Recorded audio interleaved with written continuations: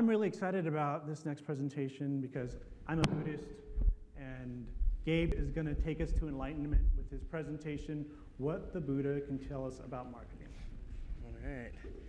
Thank you so much. Can you guys hear me all right? Perfect. All right, everybody, indulge me for a second. We've been overloading you with information, so I want to shut your brain off for just a brief second here. So I want everyone to close their eyes. I want everyone to take a deep breath.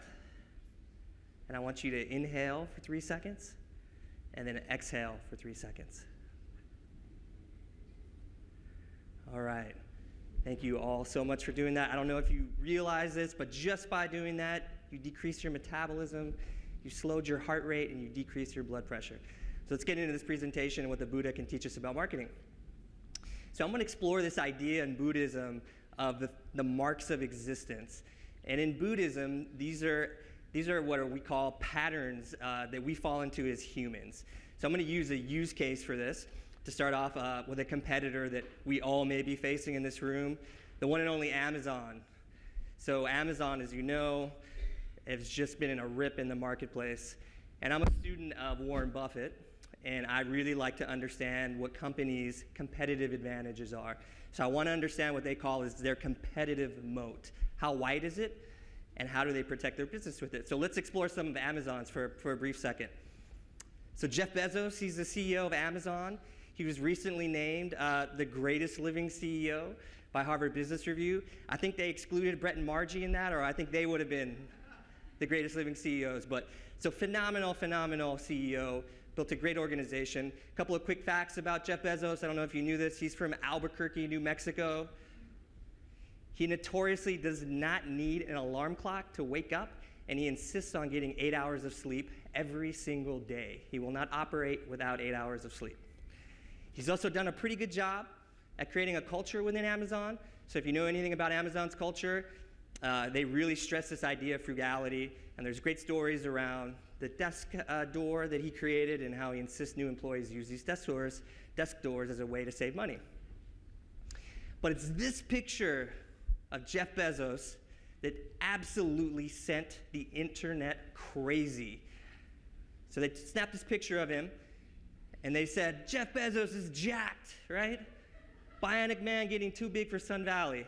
And it, it created this meme on the internet of Jeff Bezos called Swole Jeff Bezos. And if you don't know what swole is, it means swollen, you got big muscles, right? So this internet went crazy, right? So started they started looking at Jeff Bezos in 1998 and how he's evolved as a person, right? I sell books now, I sell whatever I want. I'm Jeff Bezos. This is one of my favorite comments. Jeff Bezos looks like a bodyguard for Jeff Bezos. so, okay. Jeff Bezos, competitive advantage for Amazon? Probably, probably. Let's explore, let's explore a few others. Let's look at capital expenditures within Amazon. So, capital expenditure is money that we spend for a fixed asset a corporation does, typically land, big pieces of hardware. And if you look at the top capex spending within 2016, you're going to see a lot of big companies on here. What I think is really interesting about this chart is you, you know, it's pretty obvious Exxon needs to spend a lot of money to go and drill for oil. The fact that Amazon's in the top four and you see technology companies outspending big infrastructure companies like Intel, it's, it's, it's pretty, pretty outstanding amount of money. Um, so had to put this piece in here. Amazon actually spent more money in CapEx last year than the entire state of Arizona spent on its education system. That's not a good thing. We're one of the worst states in the country when it comes to education spending. So there's my plea to please go talk to your state lawmakers. Tell them we need to spend more money on education. It's very important. Okay, now back to the numbers. So Let's look at Amazon and what they've spent cumulatively over pretty much the last nine years because they got into this game late. And if you look in their totality, they've spent about $45 billion, which is a staggering amount of money. So how much is 45 billion? So if you were to save $10,000 a day, you would have 45 billion in the year. Anyone want to take a guess? Okay. 14,326. Now, if anyone that's seen Blade Runner 2049, I'm still trying to wrap my head around that movie and what the future looks like in, in 2049. I cannot imagine the future in the year Blade Runner 14326. Okay, So we, look, we talked about Jeff Bezos. We talked a little bit about capital expenditures and money that they spend. Let's look at their distribution. So it's estimated that Amazon now has about 120 million square feet in fulfillment centers, which is a staggering amount of space. If you've ever been to an Amazon fulfillment center, here's what it looks like. They are absolutely massive. There's one on the way out of Phoenix on I 10. You can see it. It's huge, absolutely huge. How big is it? So this is the Freedom Tower, one of the largest country, uh, one of the largest towers in the world. If you were to take the space within the Freedom Tower and you were to stack them up, there would be 42, so 42 Freedom Towers, and that would stack up into the stratosphere of the Earth. That's the amount of retail distribution and fulfillment space that Amazon has. So, so pretty formidable opponent, right? When you look at Amazon. And we like to, I like to look at this, and we like to look at this idea of creative destruction. So we know when any new innovation comes into the market, there's a natural amount of displacement. And it's no surprise that this year it's projected to have the most amount of retail store closings or most amount of unit store closings in the last 20 years and more than likely more than in the history since they've been tracking this metric. And Amazon's not just affecting retail, Amazon's affecting brands. So Amazon, if you look at their private label brand for, for batteries, is now a third of all online sales. So that, that doesn't mean Amazon sells a third of all online batteries. That means the Amazon brand of batteries now commands that market share. And it's devastating to the companies that compete with Amazon. I love Kroger. I'm actually long Kroger stock because of this. I think it's an overreaction. But the day that, the day that Amazon announced the Whole Foods acquisition, Kroger lost about $17 billion off their market cap. Okay, so let's recap for a second. So, what's their competitive advantage? Is it Bezos and his 24 inch biceps? Is it the 45 billion they spend in capex? Is it the 120 million square feet?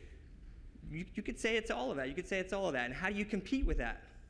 Us as marketers, you've seen this slide a few times today, we like to think that technology will solve all of our problems. People that sell these products want you to think that their product will solve, solve all your problems and allow you to compete with Amazon. But what if I told you there was a way to compete with Amazon and the strategy is thousands of years old? Okay, so now I'm going to get into my crash course in Buddhism. So Buddhism believes in this principle of called the marks of existence. As I mentioned before, it's a pattern that we fall into as humans. And two of these patterns, let's, let's talk about them briefly. So one of them is this idea of impermanence. The other is this idea of self. So let's talk about impermanence for a second. So this idea of impermanence is that everything around us is impermanent, that whatever arises will cease, that all of our possessions will eventually go away. And as humans, we naturally uh, think of loved ones, people that we care deeply about, that could pass away at some point in time, and naturally, that causes quite a bit of anxiety and pressures in our life. So, I know what you're thinking. How is this related to marketing? So, there's actually this very interesting study done by this company called Qubit, and they looked at 120 million purchases across the web. And they wanted to understand what really drove conversion and what really drove the metric that they used was revenue per visitor. And they found that these two techniques drove two to 14 times more revenue per visitor than a lot of very sophisticated A-B testing or variable or variance testing. And these two techniques were using scarcity and using urgency within your marketing message. And if you look at those two techniques, you'll notice that they're deeply rooted in this philosophy of impermanence, right? The idea that we were going to miss out on something if we do not purchase this item. And it's no surprise, you see this a lot throughout the web, so this is actually on hotels.com. If you ever booked on hotels.com, you'll notice immediately they'll tell you how many rooms are left on the site. They'll tell you when someone just booked the room that you wanted to book, the instant that they book it, so that you feel more pressure to book that room. Redfin, which is an online uh, real estate company, now tells you if a home is hot. They'll say there's a 70% chance this home will sell within this time frame. And a bit more old school, you even see magazines use this tactic as a way to drive urgency within event based marketing. So, Science Ranch 2014, just a few spots left. Better go now. So, my question to you in the audience is to take a second, think through what are your scarcity urgency points, trigger points, and jot, and jot a few of them down. So, could be appointment availability if you're in the healthcare sector, could be competition uh, within individuals, could be inventory, time, or special promotion. Any one of these things could, could be those trigger points. Okay, so that's impermanence. Let's get to the, the next mark of existence, which is this idea of self. So, this idea of self is that all phenomena have no substance or reality independent of the mind. So, perception really is reality to us. If we perceive something to be true, it probably is true in your mind. And where this really affects us as humans is the perception of the reality of who we are as individuals. What archetype am I? Archetype am I? Am I a man, a woman, a father, a grandfather, a digital marketer? And when these, these perceptions of ourselves don't come true or we fail to live up to them, we cause ourselves quite a bit of suffering, cause ourselves quite a bit of anxiety. So I thought this was interesting from a brand perspective because really this idea of self as marketers is this idea of brand that we perpetuate within our organizations. And I want to focus on uh, a particular part of this brand uh, that we like to focus on as marketers, and that's the identity. So, one of the suggestions that I have, and a really interesting study that came out, is owning your company's myth. So, I, I, uh, you, have heard a lot about storytelling, and uh, there's this great study, great book, uh, and it looked at our species as Homo sapiens. So, we're the apex predators on this planet, us humans, our particular species, Homo sapiens. And this gentleman wanted to see what caused us to be the apex predator on this planet, or the dominant species. And he attributed to these three things. So he attributed to these three revolutions. So one he called the cognitive revolution. The second he called the agricultural revolution. And the third was the scientific revolution. But what was, what was instrumental in that first revolution, the cognitive revolution, was our ability to form common myths so that we could cooperate in large numbers to solve problems together. So, what he found was that initially, when we were hunter gatherers, we only trusted people in our own tribes. But when we had the ability to form a common myth around a religion or around um, a way of life, then I trusted you enough to solve a problem with you. And this caused uh, and allowed us to have tremendous leaps in evolutionary chain to become the apex predator. And so it's no secret that uh, you know two of the two of the organizations that are best at this are sports teams, right? I'm an ASU fan, you're an ASU fan. We both hate at U of A. Let's, co- let's coordinate and, and let's solve problems together. I don't really hate U of A, I love U of A. Uh, but same thing, political organizations use the same concept. So brands know this, right? So uh, Apple, notoriously their story, what does the apple symbolize, right? It's rooted in myth. Some would say it symbolizes lust and knowledge, that idea of the forbidden fruit, that idea of knowledge. Nike, another interesting example. I don't know if you knew this, but Nike was the winged goddess of victory in Greek mythology. So, and that those principles stood for, for flight, speed, and, and victory. So, my question to you all is what is your common myth? What, what is something that you can capitalize on within your organizations to, to help forge cooperation within large numbers? So, another way you can control your brand is online. Uh, Google, I'm, a, I'm a, obviously a big fan of Google, and search, search engine result pages. So I like to think of them as your brand's digital brand uh, window display. And so to, this may just look like a search engine result page to most people. To me, this is like a Picasso painting because it's so beautiful. Uh, so why is it so beautiful? So this is a perfectly laid out search engine, search engine result page. And everything that you see within this page is very intentional.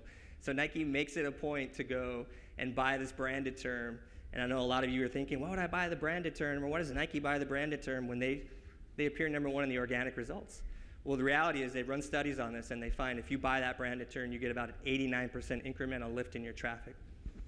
So then you'll see they use these site links underneath to highlight their new product promotion.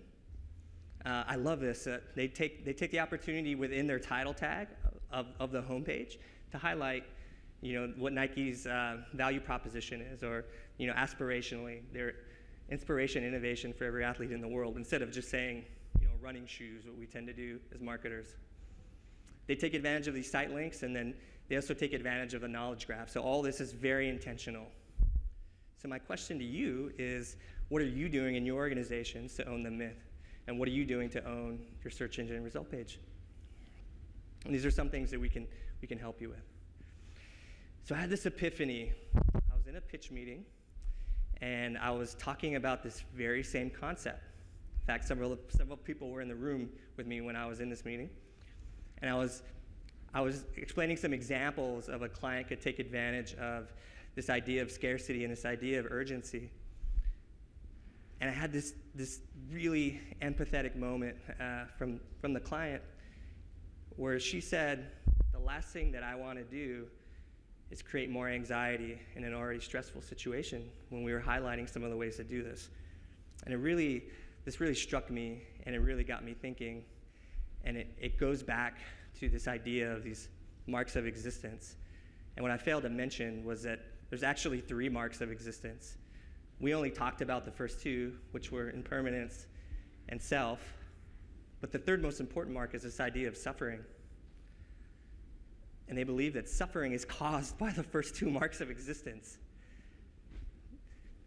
So, this, this idea, this anxiety that we feel within the loss of life in our loved ones, this anxiety that we feel and not living up to the people that we perceive ourselves to be, really causes a lot of the suffering that we endure as humans. And if you were to ask Buddha, if you were to ask, you know, Buddhist philosophers, they would say, I teach one thing and one thing only, and that's to end suffering, not to perpetuate it. So the question is, what do I do? You know, just, these are very effective tactics. So it, it brought me to this story, this parable within Buddhism. Um, so this is, this is the Colorado River. And if I were to take you to this beautiful river and take you down to the banks of this river and ask you what defines the Colorado River, you may say it's the water that defines the river. You may say it's the fish that define the river, or the current, or the sand, or the gravel, and the patterns that they construct. And I would say, okay. And then if we were to go back to that same spot in the river the next morning and ask you again what defines the Colorado River, the reality that is that that same water is now miles down the river. Those fish aren't there anymore. The sand is completely different. The current most likely is different. Everything's different. So the things that we think define the river don't define them at all. It's these conditions that define the river. It's everything in its totality that defines the river. And so that got me thinking about how do we extend this as marketers into our brand? And it got me thinking, what defines our brand as marketers? and particularly as digital marketers. And typically, what defines us is we are these conversion events. You know, we obsess over these conversion events and click-through rates. And not to say that they're not important, but that's really what defines us. And it's not, it's not the conditions that define us, it's these individual causes. And so I'm here to, to really say, you know, us as marketers, we're better than that, right? We're better than, we're more than selling more stuff. We're more than putting more widgets out into the world. We're more than the web traffic that we report on. We're more than these form fills. We're more than these phones. Um, so we're more than uh, these phone calls. Um, we have the ability to really change the products and the services that we represent.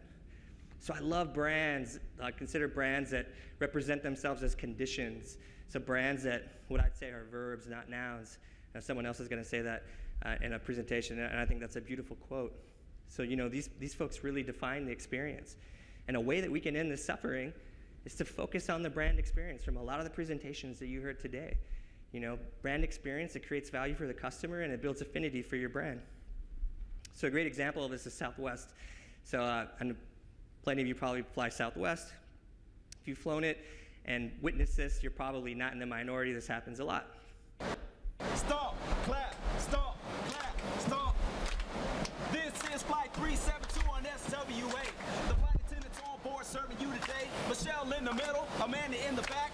My name is David and I'm here to tell you that.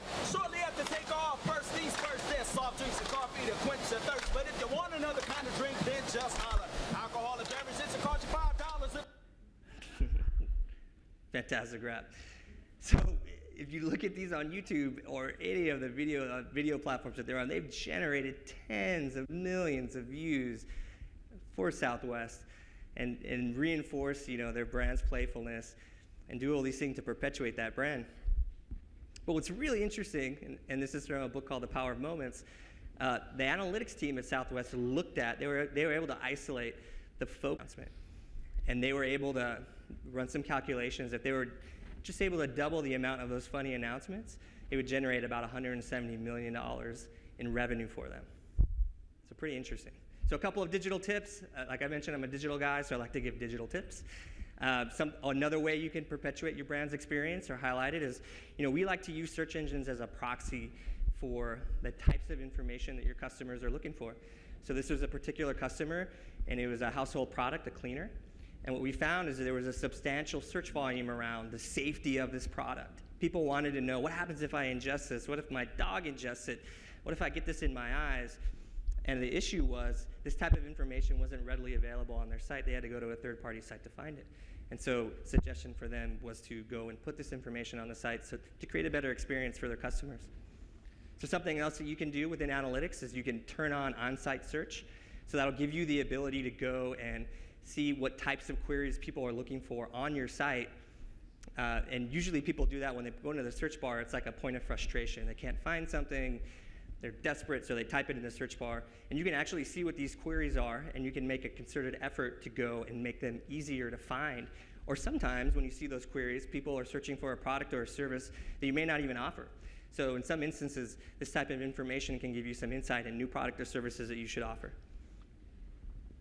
And then always talk to your customers. You know, there's, there's a multitude of very inexpensive but very effective tools that allow you to have these one on one conversations with your customers and understand where they're frustrated, like user testing or like a, the Google survey tool. So I want to take this back. So, you know, the Buddha teaches that I teach one thing and one thing only, and that's to end suffering. And we were to look at going back to Amazon and what is their competitive moat, what is their competitive advantage, and going back to the things that in the beginning I alluded to may be their competitive advantage. What's interesting is if you were to ask Jeff Bezos himself, he would say, you can be competitor focused, you can be product focused, you can be technology focused, but in my view, obsessive customer focus is by far, by far the most protective. Thank you.